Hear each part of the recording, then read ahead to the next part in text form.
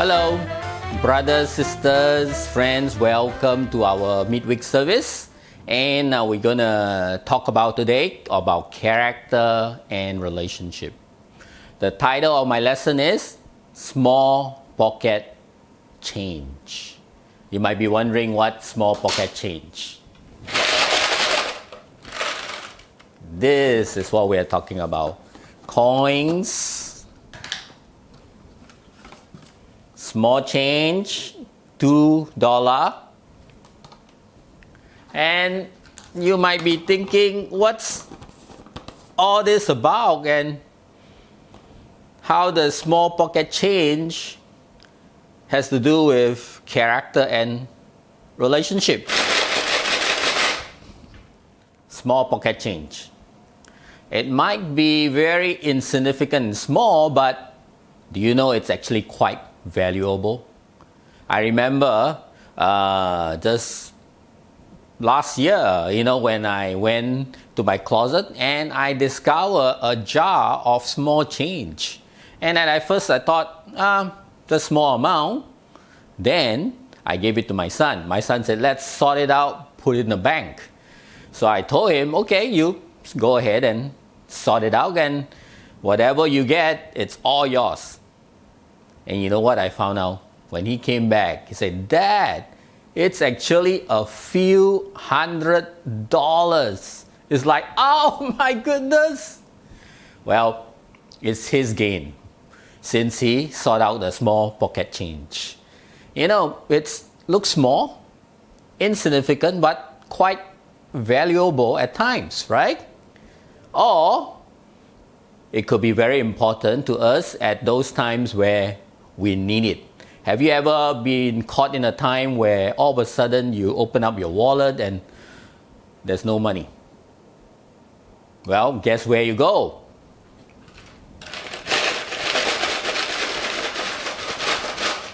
The small pocket change, right? Like in the old days when we drive through the toll, before we, uh, when we were using the card as well as the coins, you know, sometimes the card, the touch and go, do not have any money. So, what do we need? Small pocket change. You take out your small pocket change to pay the toll. So you can see small change might be insignificant, but it can really get you through some very tight spot. The concept is this in our lives, just like the small change, we need to always have something available in our lives so that we can always be available to give and to serve. So let us read from Ephesians chapter 6, verse 15. Paul says we must have feet fitted with readiness that comes from the gospel of peace. So the Bible says here in our relationship, whether it's leadership or relationship with our family and friends, we must always be ready. Even though it's small, in our heart, available and ready to serve and to give. Here are some website. CSS Corp is an IT company. It says always ready to serve with an always available infrastructure and concierge. Can you imagine? Computer breaks down, server breaks down. That happens to us all the time. What do we need? We need that our vendor must be always ready to serve us, to help us. Otherwise, we're stuck. Even though computers, IT our, works very fast, but if we're stuck, we cannot go forward. Here is a restaurant, Blue Mist, always ready to serve a lovely breakfast with a smile. When you wake up from Airbnb or hotel, what do you want? Breakfast! Always ready. Imagine coming down from your hotel and the breakfast is not done. You will be grumpy and complaining, Where is my cup of coffee? Ah, This is from the Minnesota National Guard. Once in service, always ready to serve. Well, I'm glad the National Guard or the Army are always ready to serve us, to protect us when there are danger. This is from a mining company. We are always ready to serve you. Can you imagine? Even a mining company has the same motto always ready to serve. Strange. And of course, you find Jesus himself understood this concept always ready to serve. Something in there, even though small, available to give and to help the people around us. Let's read in Matthew chapter 14, verse 15 to 17. As evening approached, the disciples came to him and said, This is a remote place, and it's already getting late send the crowds away so they can go to the villages and buy themselves some food. And Jesus replied, They do not need to go away. You give them something to eat. We have only here five loaves of bread and two fish, they answered. And of course, we know what happened here. It's the Jesus has been out all day teaching, healing. And at the end of the day, the disciples were all tired and ready to go back, have a proper meal, rest. Then Jesus noticed that they were at a remote place and he said, Hey, I see them, the people around me, they need to have some food. Are you ready to serve?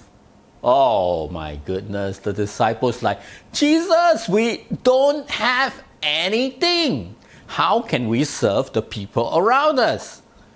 Jesus says, even though it's small, we must be ready to serve. What do you have? We only have five loaves of bread and two fish. For Jesus, that's good enough.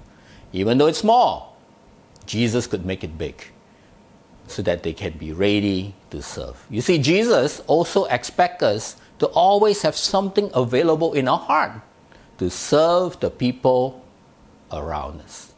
Do you have enough small pocket change available for your relationship? So often we expand out everything, right? Just like in our wallet, we spend everything and we don't have anything else to give. We feel tired to give. No more pocket change. You know, we always need to have something small available in our heart, ready to give to the people around us. How do you know that you are ready to give to the people around you? Interruptions. That's how you know. Because in our life, there will always be interruption. There will always be brothers, sisters, your family members, your colleague who will come when you are busy working and they will interrupt you. I know for myself, that's something that I hate the most. You know, when I'm doing my work, typing away, right? Busy. And then all of a sudden, Patrice will come. Honey, can you do something for me? It's like, ah! Right? Do you, do you have the same feeling? But you know what? God, the Bible always remind me. Yes, you can tell your wife, wait a little bit, but I'm ready to serve you. So, do you have something in reserve so that you can give when it is needed? Or when God opens the door for you, we can walk through it. You know, especially through this time in COVID 19, uh, there are many needs, many people who need help, or even spiritually, people want to study the Bible and know God. They are desperate and God opens the door for you. Are you ready to serve? Or do you see them as another form of interruption in your life? We need, as disciples, always to be ready to serve, even though it is small, not big, but in our heart available to help the people around us. Always ready to serve. Small pocket change. Here are some practical points for you. Three actions to help you to be ready, always ready to give and serve. And this will also be accompanied by some verses that you can read along for your further studies and discussion in your group. First action attitude or willingness. Mark chapter 1, verse 40 to 42. Our attitude is the most important. Willingness to serve starts from the heart. Situation with Jesus a leper came to Jesus asking Jesus to help him. And the leper asked, Are you willing to cleanse me? And Jesus, always willing, saying, I am willing. He is always having that attitude of willingness to serve. Second action that will help you is preparedness in all situation. We already read that verse, Ephesians chapter 6, verse 15, where we have to have the shoe fitted with readiness to serve. You know, in our relationship, situation, and life, there will always be new situation, new encounters in our life. For example, growing up, you become an adult. That, that's a new situation. Or you go on dates. That's a new situation. Or after you get on dates, you get married. That's another new situation. And if you're married, some of you have children. Another new situation. Or you go out and get a job or get a new career in this COVID 19, and that's a new, new situation. Or in the church, you're asked to lead. You've never led before. New situation or mentoring someone, new situation. You know, with all this new situation, are you prepared? Do you go in there blindly, wishing, oh, by instinct, God will tell me what to do? No, we need to read up, study, search the scriptures, go to website, read up books, so that we can be more prepared in this new situation to serve the people around us. And then the third action, replenish your heart. That is very important. Basically, what is saying? Self care. Take care of who? You. Yes, you. You know the Bible talks about that. We must also take care of us. Mark chapter 12, verse 31. What does it say? Love your neighbor as you love yourself. If you don't love yourself, you don't take care of yourself, how are you going to take care of the people around you. So Jesus is not saying don't take care of the people around us, but take care of yourself as well so that you can take care of the people around you. Love your neighbor as you love yourself, replenish yourself. How can we do that? Number one, most importantly, let God refresh our heart. Let God put in those small change into our heart. Mark chapter 1, verse 21 to 39. Secondly, we need to have other people around us. Let other people come into our lives to refresh us. Proverbs chapter 17, verse 17. And finally, do something fun for yourself every week. Mark chapter 6, verse 30 to 31. Yes, do something what? Fun for who? Yourself. That is so important. Sometimes we are out there, give, give, give, serve, serve, serve, but we don't replenish ourselves and do something fun for ourselves so that we can have the energy, the strength, the small change to give to the people around us. So, brothers, sisters, friends, small change small pocket change. Though small, looks insignificant, but can be very valuable and important so that we can always have something available to give, to serve, and to help the people around us.